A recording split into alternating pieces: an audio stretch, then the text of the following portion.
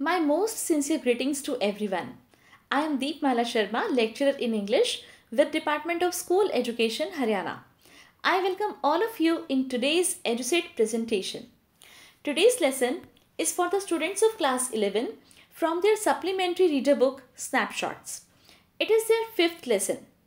It's a play, Mother's Day, composed by an eminent English playwright, J.B. Priestley. John Boynton Priestley, 13 September 1894 to 14th August 1984, was an English novelist, playwright, screenwriter, broadcaster, and social commentator, noted for his varied output and his ability for shrewd characterization. Now, first of all, let us discuss the title of the play. जैसे ही आप इस chapter का title सुनते हो Mother's Day आप साल के उस दिन के बारे में सोचने लगते हो जिस दिन मदर यानी माँ का दिन होता है। है ना बेटा? तो आप बताइए कि क्या करते हो आप उस दिन मदर्स डे पर अपनी ममा के लिए? जी हाँ आप अपनी ममा को विश करते हो, उन्हें गिफ्ट देते हो, उनका रिगार्ड करते हो, उन्हें थैंक्स बोलते हो हर उस चीज़ के लिए जो वो आपके लिए करती हैं, राइट? आप उन्हें बहुत ही स्पेशल फील कराते हो, in fact very very special feel करवाते हो। लेकिन present play under discussion reveals something else it reveals something opposite to it because the play Mother's Day is about such a mother who is ignored by her family ये जो play है mother's Day ये बिल्कुल opposite है इन सब feelings के, जिससे कि एक मदर्स डे की जो सेलिब्रेशन है वो जुड़ी हुई होती है। कैसे? क्योंकि ये एक ऐसी मदर के बारे में है जो अपनी फैमिली में बिल्कुल निगलेक्टेड है। उसकी कोई परवाह ही नहीं करता। उसकी कोई चिंता ही नहीं करता।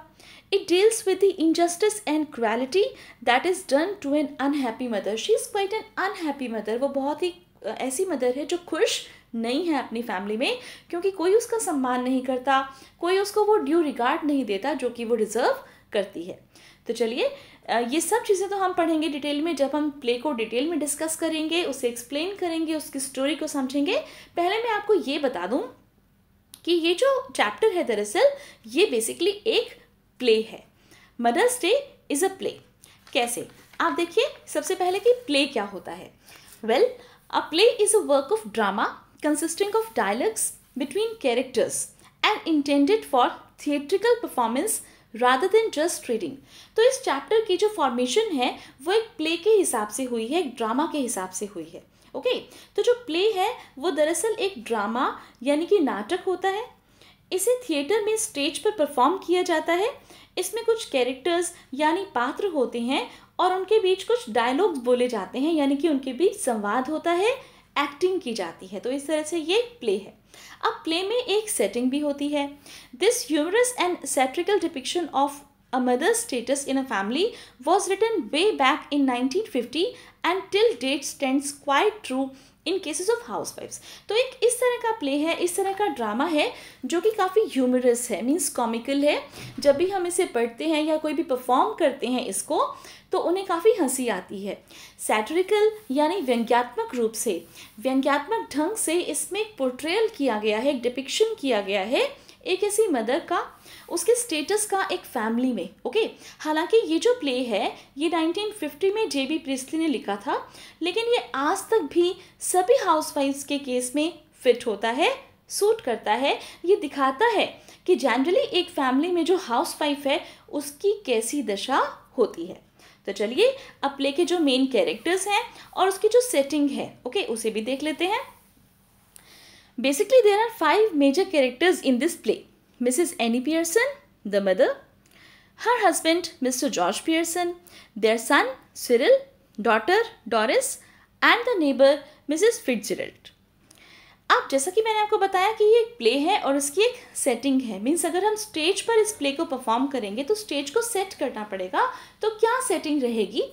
The action takes place in the living room of the Pearsons house in a London suburb the time is afternoon As I've told you, the play is meant to be performed on stage with some stage setting. तो यहाँ basically एक family है Pearson family उनके living room का scene है उनके living room की setting है and the time is afternoon तो चलिए देखते हैं कि ये जो स्टोरी है ये किसके बारे में है?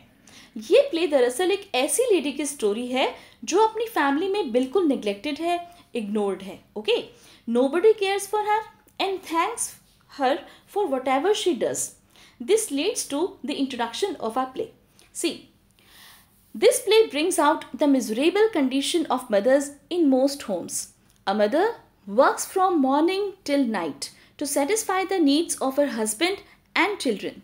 She cleans, sweeps, washes and cooks, but she gets no reward or praise for her labors. She works like a machine throughout the day, but they never realize that she too is a human being and needs rest. Do we ever think of it? तो देखिए, एक ऐसी ही lady की कहानी है mother's Day वो lady है दरअसल मिसेस पियर्सन ये हमारे स्टोरी की सेंट्रल कैरेक्टर है और उनकी एक फ्रेंड है मिसेस फिजरल्ड जो कि उनकी नेबर भी हैं अब आप ये देखिए कि इस तरह की जो लेडी है, ये दरअसल हम अगर देखें तो टिपिकल हाउस होल्ड में हम इन लेडीज़ को देख सकते हैं। इसे हम हमारी मदर के रूप में भी ले सकते हैं, जो लगातार सारा दिन काम करती रहती हैं, लेकिन कोई भी उनको उसके बदले में वेजेस तो छोड़िए थैंक्स तक भी नहीं बोलता। क्या हम बोलते हैं थैंक्स नहीं ना? और इसी थीम के ऊपर बेस्ड है हमारा ये chapter in the discussion which is in the form of a play as I just told you तो देखिए before we start the play हम देख लेते हैं कि क्या यहाँ की सेटिंग है, क्या हो रहा है ओके okay? तो Mrs Pearson and Mrs Fitzgerald are neighbours अब यहाँ पर हमने दो कैरेक्टर्स लिए हैं। मिसेस पियर्सन तो हमारी सेंट्रल कैरेक्टर हैं राइट ये वो मदर हैं जो निगलेक्टेड हैं इग्नोर्ड हैं अपने हाउस में। और मिसेस फिट्जरल्ड जो हैं, वो उनके नेबर हैं। और वो आपस में वैसे दोनों फ्रेंड्स भी हैं राइट तो Mrs Fitzgerald is a pleasant but worried looking woman in her forties तो जब हम स्टेज पर सेटिंग देखते हैं तो जैसे मिसेस पियर्सन बैठी हुई हैं और उनके साथ में मिसेस फिट्जरल्ड बैठी हुई हैं, कहाँ बैठे हुए ये दोनों? यस पियर्सन फैमिली के लिविंग रूम में, यानी कि मिसेस पियर्सन के घर पर मिसेस फिट्जरल्ड आई हुई हैं और दोनों जो हैं, वो मिसेस पियर्सन के ड्राइंग रूम में, उनके लिविंग रूम में बैठी हुई हैं। मिसेस पियर्सन जो है, वो बहुत ही प्लेजेंट सी, जैसे एक लेडी है स्वीट सी, शांत सी और वो जैसे थोड़ी सी वर्ड है लेकिन ओके थोड़ी सी मतलब चिंता ग्रस्त वो लगती हैं। वो अपनी फोर्टीज़ में है, यानी कि उनकी जो एज है, वो फोर्टी प्लस है। She is docile and submissive she is very fond of a children although they treat her like a domestic slave Mrs Fitzgerald is older heavier and a strong woman. She is a fortune teller. She had learned that art in an Asian country where she had spent 12 years. She smokes, drinks and also plays cards. तो इस तरह से आप देख सकते हो कि जो मिसेस पियर्सन है वो एक बहुत ही जेंटल सी शांत सी और बहुत ही स्वीट सी लेडी है she is the mother okay यानी ये वो हाउस वाइफ है जो अपने हस्बैंड और चिल्ड्रन के लिए बहुत ज़्यादा मेहनत करती हैं, लेकिन वो लोग उसके साथ बिल्कुल नौकरों जैसा व्यवहार करते हैं। जबकि मिसेस फिट्जरल्ड एक बोल्ड, डोमिनेटिंग और बहुत ही स्ट्रिक्ट पर्सनालिटी की लेडी है।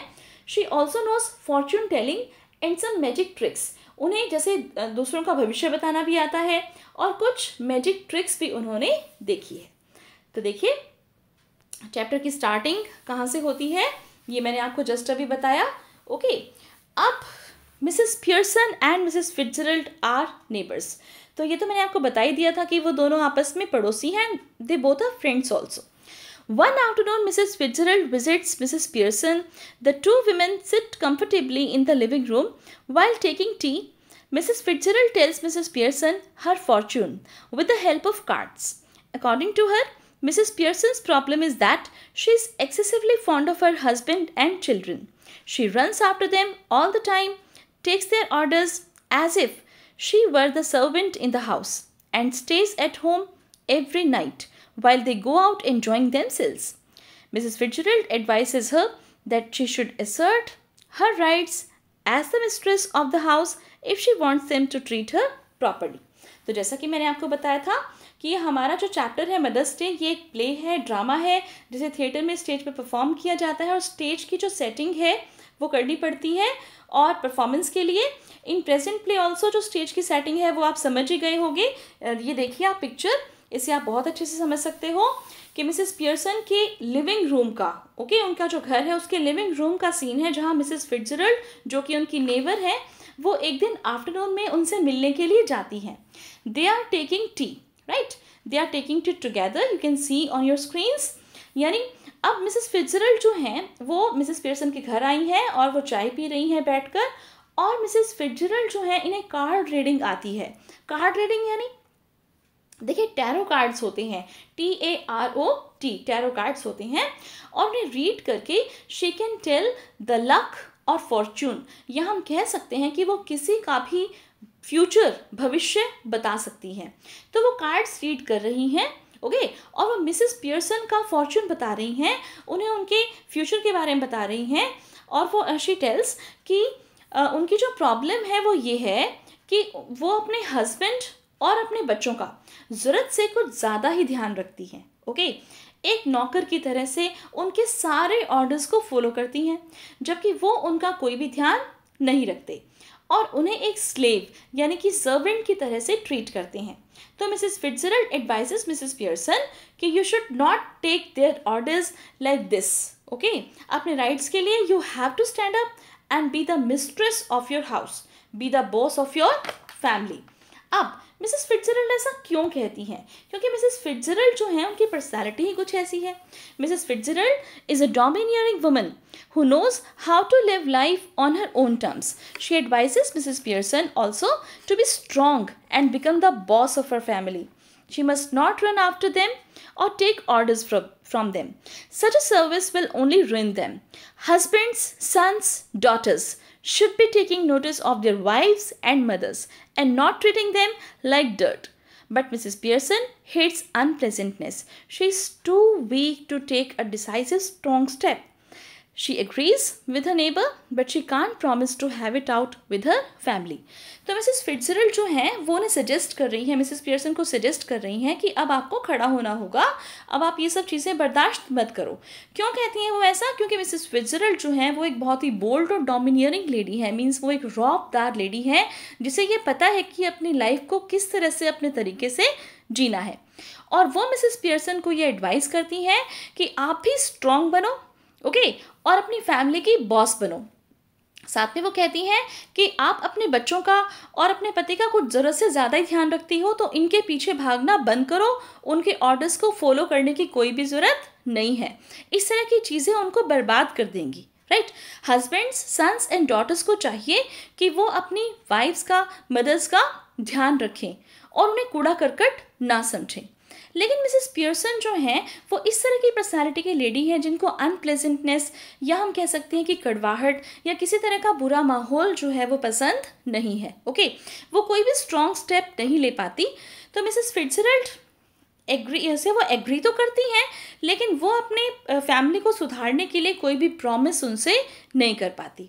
तो अब Mrs Fitzgerald offers to set the entire family right and put them in their places तो जब मिसेस फिट्जरल्ड को ये लगता है कि मिसेस पियर्सन के बस की ये बात नहीं है कि वो किस तरह से अपनी फैमिली मेंबर्स को सुधारेंगी तो मिसेस फिट्जरल्ड कहती हैं कि कोई बात नहीं, मैं तुम्हारे लिए ये काम कर सकती हूँ। And she has a plan to change places और पर्सनैलिटीज़ विद मिसेस पियर्सन और उनके पास एक प्लान है।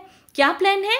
कि जैसे मैंने आपको बताया कि उनको कुछ मैजिक ट्रिक्स आती थी तो उनके पास ये प्लान है कि वो पर्सनैलिटीज़ को चेंज कर लेंगी। यहाँ पर्सनैलिटीज़ से हम मतलब ले सकते हैं कि वो आपस में एक दूसरे की जो सोल हैं, उन्हें चेंज कर लेंगी ओके यानी कि बॉडी तो वही रहेगी, हमें दिखाई देने में तो मिसेस पियर्सन मिसेस पियर्सन दिखाई दे रही हैं मिसेस फिट्जरल्ड मिसेस फिट्जरल्ड दिखाई दे रही हैं, लेकिन जब उनकी पर्सनैलिटीज़ चेंज हो जाएँगी तो जैसे कि पर्सनैलिटीज़ अभी मैंने आपको डिस्क्राइब की थी कि जो मिसेस पियर्सन है she is very humble docile and submissive kind of lady, okay?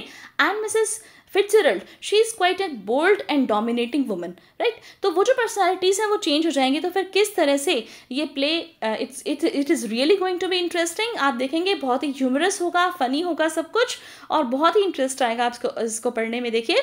तो क्या प्लान किया मिसेस फिट्जरल्ड ने कि वो मिसेस पियर्सन की फैमिली को ठीक कर देंगी? कैसे ठीक करेंगी? कि वो आपस में एक दूसरे की सोल्स को चेंज कर लेंगी ओके और फिर उसके बाद वो उसके फैमिली मेंबर्स को सही बना देगी, उनकी, उनका औकात का पता बता देगी। She has a plan to change places और personalities with Mrs Pearson she takes her hands and mutters a spell अष्टटा दम अष्टटा लम अष्टटा लम दम पोना अब मिसेस फिट्जरल्ड ने ये काम कर लिया है।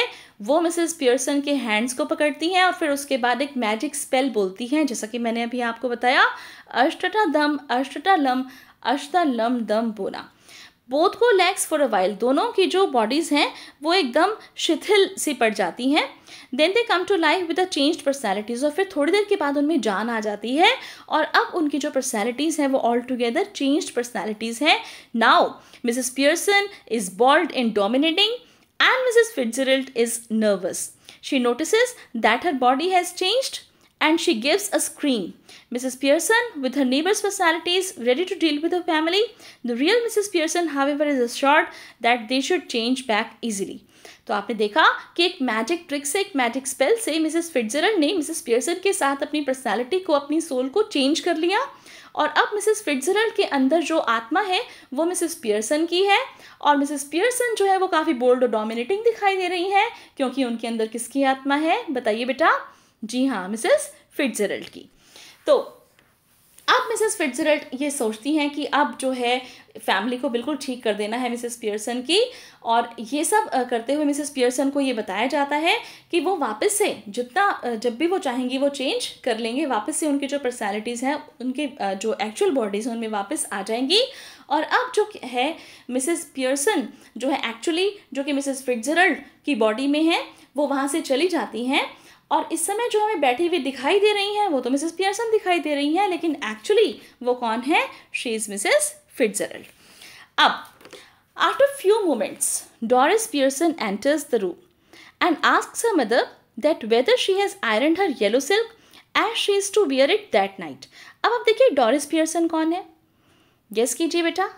हाँ जी, बिल्कुल सही। Doris Pearson is the daughter of Annie Pearson right तो जो डोरिस है, अब वो घर आ जाती है, एंटर करती है रूम में और अपनी मदर से पूछती है कि क्या उसने उसकी जो येलो सिल्क ड्रेस है, उसे आयरन कर दिया है?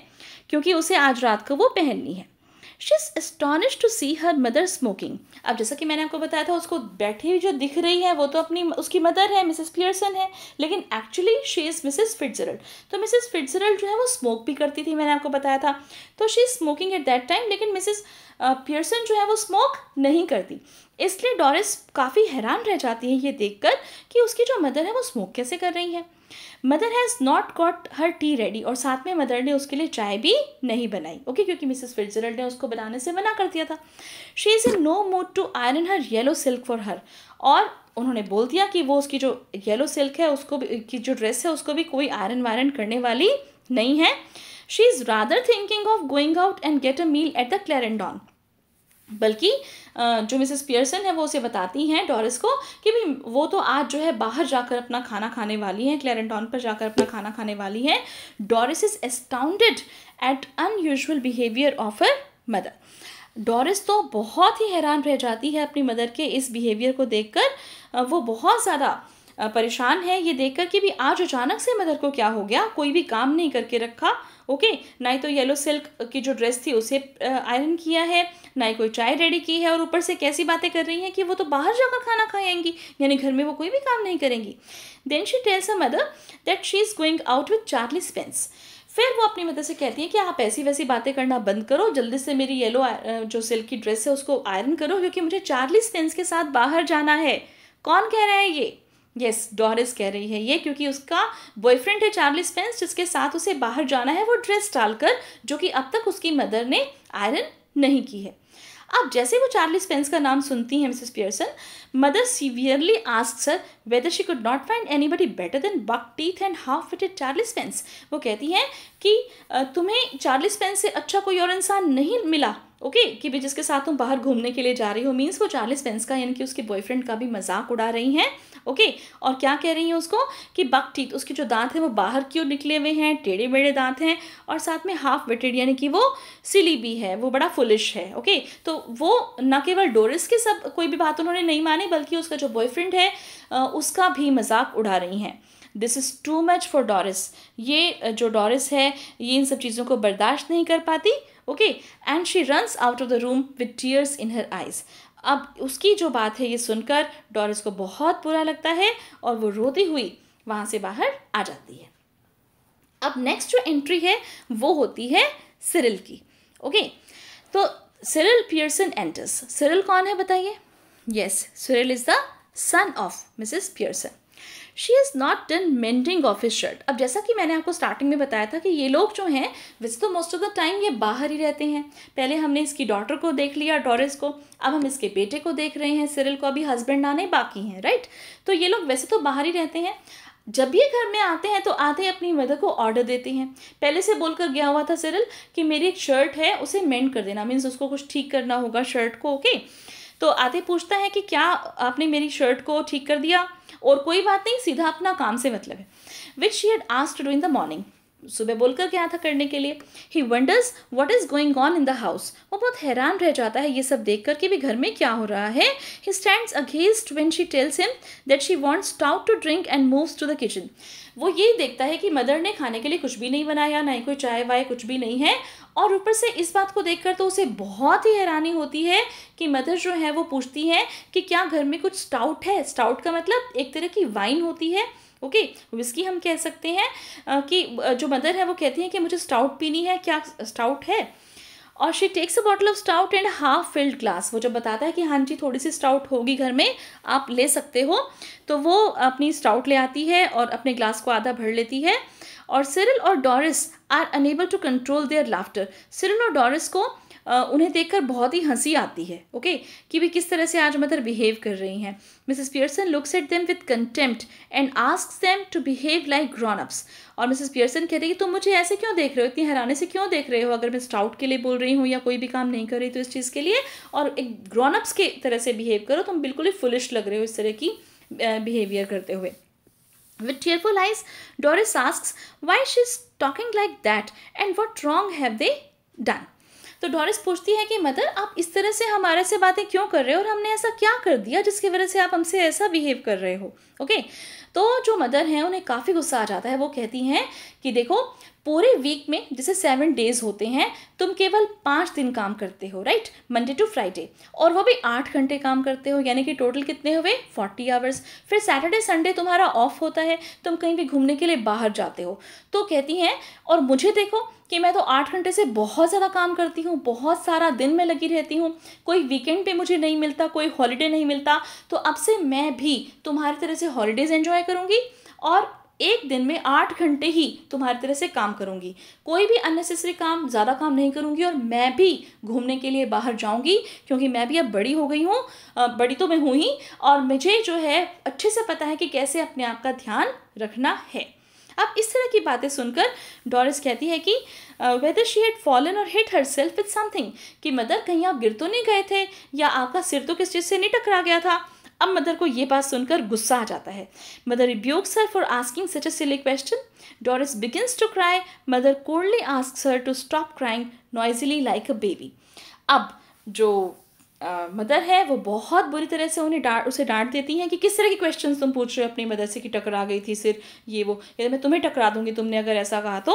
और फिर डॉरिस जो है वो रोना शुरू कर देती है अपनी मदर की डांट सुनकर।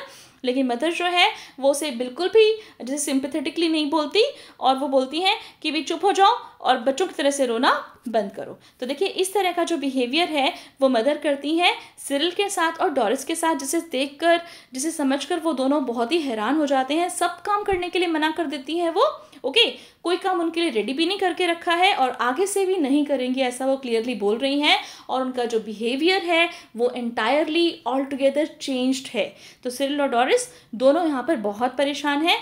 अब George Pearson enters just then George Pearson enters he notices Doris tears and ask why she is crying Doris run out of the room sobbing he is astonished to see his wife sipping stout He tells her that he doesn't want any tea, as he would have supper at the club. अब देखिए, जैसे ही George Pearson enter करते हैं, वो Doris को रोते हुए देखते हैं। पूछते हैं कि वो क्यों रो रही है। डॉरिस वहाँ से भागकर अपने रूम में सुबकती हुई चली जाती है। अब वो उनको बहुत ज़्यादा हैरानी होती है जॉर्ज को ये देखकर कि जो उनकी वाइफ है, वो स्टाउट पी रही है। तो वो उन्हें बताती हैं कि आज उन्हें कोई भी चाय नहीं चाहिए, क्योंकि आज रात को जो डिनर है, वो उन्होंने क्लब में ही करना है। अब ये बात देखिए, आप यहाँ पर जॉर्ज पियर्सन के का जो यहाँ पर एक कैरेक्टराइजेशन किया गया है उसमें कि जॉर्ज पियर्सन एक इस तरह का इंसान है जो अपने वर्क पर गया तो वर्क पर गया, वरना वो घर आने के बाद क्लब में चला जाता है। जब वो क्लब में चला जाता है तो अपनी वाइफ को अपने साथ कभी भी नहीं लेकर जाता ओके वहीं पर ही एंजॉय करता है। अब मिसेस पियर्सन को ये बात उसकी ठीक नहीं लगती। Mrs Pearson tells him that there is no tea ready तो जैसे ही जॉर्ज पियर्सन अपनी वाइफ को बताते हैं कि उन्हें आज चाय नहीं चाहिए, क्योंकि शाम को जो खाना है, रात का जो खाना है, वो उन्होंने क्लब में खाना है। तो ऐसा नहीं कि मिसेस पियर्सन शांत रह जाए, क्योंकि एक्चुअली वो मिसेस फिट्जरल्ड हैं और वो उनसे कहती हैं कि मैंने कोई चाय वाय तुम्हारे लिए बनाई भी नहीं है okay he is annoyed to know that his wife didn't get tea ready for him George को इस बात पर गुस्सा आ जाता है कि वाइफ ने चाय बनाई ही नहीं है। अब देखिए mrs Pearson laughs at his childishness and remarks that if he behave like that at the club they would laugh at him even more than they do now तो मिसेस पियर्सन कहती हैं कि जो बात तुमने अभी बोली है मेरे सामने कि तुम इस चीज़ के लिए मेरे से गुस्सा हो रहे हो, जो काम मैंने, जो तुम्हें चाहिए भी नहीं था और मैंने नहीं किया है तो अगर तुम इसी तरह का जो बिहेवियर है अपने क्लब पर जाकर करोगे तो सोचो कि वो लोग तुम्हारा कितना मज़ाक उड़ाएँगे, वो ऑलरेडी तुम्हारा इतना मज़ाक उड़ाते हैं okay now George is surprised to know that they laugh at me at the club तो जॉर्ज को काफ़ी हैरानी होती है ये सुनकर कि क्या वो मेरा मज़ाक उड़ाते हैं क्लब पर? और वो इस चीज़ को क्लियर करता है सिरिल से कि सिरिल तुम बताओ कि क्या वो मेरा मज़ाक उड़ाते हैं? तो सिरिल कहता है कि येस डैड वो आपका मज़ाक उड़ाते हैं। किस तरह से उड़ाते हैं? देखिए मिसेस पियर्सन कहती हैं कि mrs Pearson continues that he is one of their standing jokes सभी तुम्हारा मज़ाक उड़ाते हैं। They call him pompy ompy Pearson because they think he is so slow and pompous.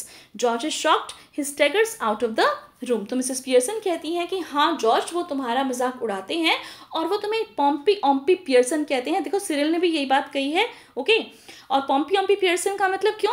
कि एक तो वो बहुत ही स्लोली चलता है, एक वो बड़ा पॉम्पस है मीन्स अपना बहुत ज़्यादा फेंकता है बातों को, बहुत बड़ी बड़ी बातें करता है आडम्बर करता है। इस वजह से उसको सभी क्या बोलते हैं? पॉम्पी ऑम्पी पियर्सन मज़ाक उड़ाते हैं। कभी भी अपनी वाइफ को या बच्चों को साथ लेके अपनी वाइफ को स्पेशली साथ लेकर नहीं जाता। और इसलिए तो पॉम्पी ऑम्पी पियर्सन के नाम से उसको चिढ़ाया जाता है। जॉर्ज को इस बात पर बहुत गुस्सा आता है। अब तभी जो है there is a knock at the door तभी दरवाजे पर नॉक होती है। Cyril hurries out and reenters bringing in mrs Fitzgerald तो कौन आया है गेट पर? गेट पर आई है मिसेस फिटजरल्ड फिटजरल्ड की जो बॉडी है वो हमें दिख रही है राइट अंदर जो उसके सोल है वो किसकी है? मिसेस पियर्सन की। She asks mrs Pearson whether everything is all right तो जैसे ही सिरल मिसेस फिटजरल्ड को लेकर अंदर आता है मिसेस पियर्सन से वो पूछती हैं कि आ, क्या सब कुछ ठीक ठाक चल रहा है? तो Cyril remarks sulkily that everything is wrong okay तो सिरल जो है वो जैसे मान लीजिए बहुत ही दुखी होकर शिकायत करता है कि नहीं, सब कुछ गड़बड़ हो गया है कि मदर को न जाने क्या हो गया है mrs Pearson asks him sharply to keep quiet mrs Pearson कहती हैं, उसको बहुत ही कठोरता से कहती हैं स्ट्रिक्टली कहती हैं कि तुम चुप रहो Cyril walks out of the room Mrs. Fitzgerald is surprised at this turn of events and asks Mrs. Pearson nervously what she has been doing. तो मिसेस फिट्जरल जो है, वो काफ़ी सरप्राइज़ दिखाई दे रही हैं। मिसेस पियर्सन से पूछती हैं कि भी क्या हो रहा है, तुम क्या कर रही हो मेरे घर पर? ये सब तो कुछ क्या हो गया एकदम से? Mrs Pearson tells a calmly that she has been just putting them in their places and they will be eating out of her hand soon तो मिसेस पियर्सन जस्ट ये कहती हैं कि मैं उन सबको उनकी औकात का बता बता रही हूँ। औकात समझा रही हूँ कि उनको किस तरह से तुम्हारे साथ बिहेव करना चाहिए फैमिली में रहना चाहिए। Just then George enters room he is looking very sullen mrs Fitzgerald watches all this helplessly she is utterly confused तभी जॉर्ज कमरे में एंटर करते हैं। Okay okay? वो मिसेस फिट्जरल्ड को देखकर हैरान हो जाते हैं क्योंकि मिसेस फिट्जरल्ड जो हैं, वो उनको, उनके नाम के पहले शब्द, यानी कि जॉर्ज कहकर संबोधित करते हैं। देखिए, वो एक नेबर हैं राइट मिसेस फिट्जरल्ड की जो बॉडी है एक्चुअली तो मिसेस पियर्सन है, लेकिन ये बात जॉर्ज को तो नहीं पता। राइट तो वो एकदम से जॉर्ज बोल देती हैं, अपने वाला हस्बैंड को देखते ही उनके मुँह से जॉर्ज निकल जाता है। अब जॉर्ज इस बात को, इस शब्द को सुन के मिसेस फिट्जरल्ड के मुँह से काफ़ी हैरान हो जाते हैं कि भाई ये क्या है? ओके जॉर्ज फील्स एंग्री उनको गुस्सा आ जाता है कि भाई मिसेस फिट्जरल्ड मुझे जॉर्ज के क्यों बुला रही हैं? वो ऑलरेडी टेंशन में है। लेकिन एनी को इसमें कोई भी ऑब्जेक्शन वाली बात नहीं लगती, कोई गलत बात नहीं लगती।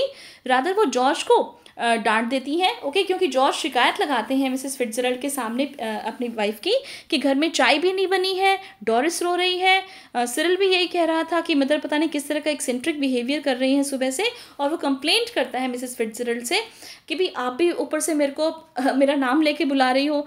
तो वो बहुत बुरी तरह से कन्फ्यूज़ हो जाते हैं। वो मिसेस फिट्जरल्ड को कहते हैं कि प्लीज़ आप यहाँ से चली जाइए, हमें अकेला छोड़ दीजिए। ओके, क्योंकि, और लेकिन उनकी जो वाइफ है वो अब उन्हें आड़े हाथों लेती है और बोलती है कि तुम्हें बोलने का सलीका नहीं आता कि नेबर से कैसे बात की जाती है? और वो कहते हैं कि तुम अब जाओ, क्लब में चले जाओ, कि क्यों नहीं जा रहे तुम क्लब में? अब जॉर्ज को बहुत गुस्सा आ जाता है। जॉर्ज कहते हैं अपनी वाइफ से कि तुम तो बिल्कुल पागल हो गई हो, सनकी हो गई हो, मिसेस पियर्सन। अब उसकी जॉर्ज से कहती है कि अब मैं तुम्हारे बड़े से, मोटे से और इस सिले से चेहरे पर थप्पड़ मारने वाली हूँ। अब इतना बुरा माहौल जो है एकदम से क्रिएट हो जाता है। दोनों लेडीज़ वहाँ पर खड़ी हैं और जो जैसे मान लीजिए एक्चुअली मिसेस फिट्जरल्ड है मिसेस पियर्सन की बॉडी में, वो कहती हैं कि अब मैं तुम्हें थप्पड़ मारूँगी जॉर्ज तो ये सब कुछ देखकर जो है जैसे मिसेस फिट्जरल्ड जो है, वो मिसेस पियर्सन को स्टॉप करने की कोशिश करती हैं। She tries to stop mrs Pearson in vain लेकिन मिसेस पियर्सन मानने वाली नहीं है। अब जॉर्ज और डॉरिस जो हैं they are bewildered at this turn of events वो बहुत ही हैरान हैं दोनों, क्योंकि अब डॉरिस भी एंटर कर जाती है और डॉरिस और जॉर्ज दोनों देखकर अपनी मदर का बिहेवियर बहुत ही दुखी हो जाते हैं। अब यहाँ पर मिसेस फिट्जरल्ड जो हैं, वो जैसे ही जैसे डॉरिस को देखती हैं तो वो उससे पूछती हैं कि तुम्हें तो आज चार्ली के साथ बाहर जाना था तो तुम गई नहीं? अब डॉरिस ना मिसेस फिट्जरल्ड की ये बात सुनकर भी चिढ़ जाती है और वो कहती है कि तुम्हें बड़ा इंटरेस्ट है मेरी पर्सनल लाइफ में, क्यों पूछ रही हो आप? ओके तो फिर वो जैसे डांट खाती है फिर से अपनी मदर से ओके वो कहते हैं कि तुम्हें बड़ों से बोलने की तमीज़ नहीं है, अच्छे से जवाब दो बात का या फिर ऊपर चली जाओ। तो फिर वो दुखी होकर बताती है कि मैंने वो प्लान ख़त्म कर दिया है क्योंकि मेरी माँ ने मुझे इतना दुखी कर रखा है। अब सब कुछ गड़बड़ हो चुका है। डॉरिस के मुँह से उसने बात सुन ली, सिरिल के मुँह से उसने इस तरह की बातें सुन ली, अब जॉर्ज के मुँह से बातें सुन ली। तो फाइनली देखिए जो मिसेस पियर्सन है एक्चुअली जो कि मिसेस पियर्सन है मिसेस फिट्जरल्ड की बॉडी में, वो कहती हैं कि आप ऐसा करो कि आप यहाँ से चले जाओ और मुझे मिसेस पियर्सन के साथ अकेला छोड़ दो ओके तो आप देखिए she request them to leave her alone with mrs Pearson and promise that everything will be all right और वो कहते हैं कि आप दोनों यहाँ से चले जाओ, मैं प्रॉमिस करती हूँ कि सब कुछ ठीक हो जाएगा। George and Doris leave the room mrs Fitzgerald urges mrs Pearson that they should now regain their proper personalities जैसे ही जॉर्ज और डॉरिस बाहर चले जाते हैं, ठीक है तो मिसेस पियर्सन जो है वो मिसेस फिट्जरल्ड से कहती हैं कि अब जल्दी से हमें हमारी जो पर्सनैलिटीज़ हैं उनको वापस से चेंज कर लेना चाहिए। Mrs Pearson wants to continue a bit more of it but mrs Fitzgerald would not listen to her mrs Pearson जो कि एक्चुअली मिसेस फिट्जरल्ड है, वो कहते हैं कि नहीं, अभी रुक जाओ थोड़ा सा और चलने दो इसको ओके लेकिन मिसेस पियर्सन जो है वो उसके लिए मना कर देती हैं। Now she says that they are already very miserable and she can not bear it any more वो कहते हैं कि पहले उनकी इतनी बुरी हालत हो चुकी है और अब वो इससे ज़्यादा बर्दाश्त नहीं कर सकती। तो मिसेस फिट्जरल उसकी बात मान लेती हैं। She stretches her hands across the table eagerly. Mrs. Pearson takes them. तो Mrs. Fitzgerald अपने हाथ जो हैं वो stretch करती हैं Mrs. Pearson उन हाथों को पकड़ लेती हैं They stare at each other and exactly as before Mrs. Pearson recites the spell. और एक दूसरे की ओर देखती हैं एक दूसरे की आँखों में आँखें डाल के और मिसेस फिट्जरल्ड जो है वही जो मैजिक स्पेल था उसको बोलती हैं अष्टदम अष्टलम अष्टलम दम बोना they become their proper personalities दोबारा से उनकी जो सोल है वो एक दूसरे में फिट हो जाती है और करेक्ट जो बॉडी है, करेक्ट सोल में, करेक्ट सोल, करेक्ट बॉडी में आ जाती है। Mrs Fitzgerald advises Mrs Pearson not to go soft on them again otherwise it will all have been wasted now this is very important from exam point of view बार बार exam में पूछा जाता है कि जब मिसेस फिट्जरल और Mrs Pearson की जो पर्सनैलिटीज़ हैं वो एक दूसरे की बॉडी में सही से चली जाती हैं तो मिसेस फिट्जरल मिसेस पियर्सन को क्या एडवाइस करती हैं? वो ये एडवाइस करती हैं कि don't go soft on them उनके साथ बिल्कुल भी नरमी बरतने की ज़रूरत नहीं है। Be strict with them okay mrs Fitzgerald wants her that she must not start giving explanation asking for apologies otherwise she will be straight back where she was तो मिसेस फिट्जरल साथ में मिसेस पियर्सन से कहती हैं कि एक तो उनसे बिल्कुल भी नरमी से बिहेव नहीं करना, एकदम स्ट्रिक्टली बिहेव करना है अपनी फैमिली मेंबर्स के साथ और कोई भी अपॉलोजीज यानी किसी भी तरह की माफ़ी मांगने की ज़रूरत नहीं है, जो कुछ भी अभी एपिसोड हुआ उसके लिए। फाइन अब when Mrs Fitzgerald leaves the room she finds George Doris and Cyril standing in a row at the door पे अब बाहर जॉर्ज डॉरिस और सिरिल वेट कर रहे हैं मिसेस फिट्जरल्ड वहाँ से चली जाती हैं। The family looks anxiously at mrs Pearson और जो सारे के सारे परिवार के मेंबर्स हैं, वो मिसेस पियर्सन को बहुत ही ध्यान से और एकदम एंशियसली का मतलब चिंता से देखते हैं कि भाई अब क्या होगा। शी स्माइल्स अब मिसेस पियर्सन स्माइल करती हैं। They feel much relieved and they smile back at her उनको भी बहुत अच्छा लगता है और वो भी अपनी जैसे मिसेस पियर्सन मिस अपनी मदर को, अपनी वाइफ को देखकर जॉर्ज भी हंसता है। She mrs Pearson tells them what she thought they would do at at night okay अब मिसेस पियर्सन कहती है कि मेरे पास एक प्लान है कि आज रात को हम सब क्या करेंगे? क्या करेंगे देखिए? They would have a nice family game of rummy सबसे पहले सब मिलकर एक रमी का गेम खेलेंगे, क्योंकि मिसेस पियर्सन की एक कंप्लेंट रहती थी कि उनकी जो फैमिली है, उनके साथ कभी भी टाइम स्पेंड नहीं करती, कभी भी खेलती नहीं है। तो आज वो सब मिलकर रमी का गेम खेलेंगे मीन्स कार्ड्स खेलेंगे। Then children could get the supper ready while she has a talk with their father तो उसके बाद क्या होगा कि बच्चे जो हैं वो जाकर खाना बनाएँगे, रात का डिनर बनाएँगे और वो उनके फादर के साथ कुछ बातें करेंगी। Thus mrs Fitzgerald helps mrs Pearson to become the boss of our family when she goes out the family lovingly clusters round mother तो इस तरह से जो मिसेस फिट्जरल्ड है, वो हेल्प करती है मिसेस पियर्सन की, ताकि वो अपनी फैमिली की बॉस बन पाएँ। और देखिए बेटा, इस चैप्टर से, इस प्ले से हमें यही सीखने को मिलता है कि हमें हमेशा हमारी मदर को वो ड्यू रिगार्ड देना चाहिए जो वो डिज़र्व करती हैं। सुबह से लेकर शाम तक सबसे पहले मेरे ख्याल से ऐसा इंसान आपकी मदर ही होती हैं बेटा, जो आपके लिए जगती हैं राइट सारा काम करती हैं और वही इंसान है जो सबसे रात को लेट सोता है ओके सारा काम वाइंड अप करके। और फिर उसके बाद अगर मान लीजिए कभी दाल में नमक ज़्यादा हो गया, सब्ज़ी अच्छी नहीं बनी तो हमारे जो नखरे हैं, वो सब चीज़ें, और फिर इसके अला, इसके बाद भी हमारे जो मदर हैं, सोचो हमसे कितना अफेक्शन करती हैं, कितना लव करती हैं। उनके इस अनकंडीशनल लव के लिए, उनकी इस अनकंडीशनल केयरिंग एटीट्यूड के लिए केयरिंग बिहेवियर के लिए हमारा जो जेस्टर है वो भी क्या होना चाहिए? Yes it should always be like thanks giving okay we must love our mom और जैसे ही जो है इस तरह से मिसेस फिट्जरल बाहर चले जाती हैं, वो जो पूरी फैमिली है, वो मिसेस पियर्सन के चारों ओर जैसे बैठ जाते हैं, खूब खुश होते हैं और उनको घेर कर बैठ जाते हैं। तो इस तरह से जो थीम इस चैप्टर का निकलता है, जो सोशल मैसेज ये चैप्टर कन्वे करना चाहता है, वो देखिए The theme of the play is the status of women in their own household. The housewife serves the members of a family with complete devotion, sincerity, and love. Her leniency and eagerness to please everyone reduces her to the rank of an unpaid domestic servant in her own house. Instead of being politely requested for a favor, she is ordered to do it. She gets no thanks in return. The theme is worked out by betrayal of the Pearson family. The main motive of the play is to realize the importance of household lady. The idea was to get her respect and honor that she deserves and that her work should be recognized by family. तो mother को बहुत अच्छा लगेगा जब आप उनके साथ cooperate करोगे उनकी हर छोटी से छोटी चीज़ से लेके बड़े से बड़ी सेक्रीफाइस के लिए उनको थैंक्स बोलोगे उनको वो रिगार्ड दोगे जो वो डिज़र्व करती हैं तो यही थीम है ये सोशल मैसेज है इस प्ले का अब इस प्ले को इसकी स्टोरी को समझने के बाद आपके लिए होमवर्क है कि आपको ये क्वेश्चंस फाइंड आउट करने हैं ओके और आप इनके आंसर्स लिखकर अपने अपने इंग्लिश टीचर से चेक करवाएँगे and will discuss their solution in a next session so questions are you have to write a character sketch of Mrs Pearson character sketch of Mrs. Fitzgerald and comparison of the characters of Mrs. Pearson and Mrs. Fitzgerald. So, this is your homework. I hope आपको chapter समझ में आया होगा.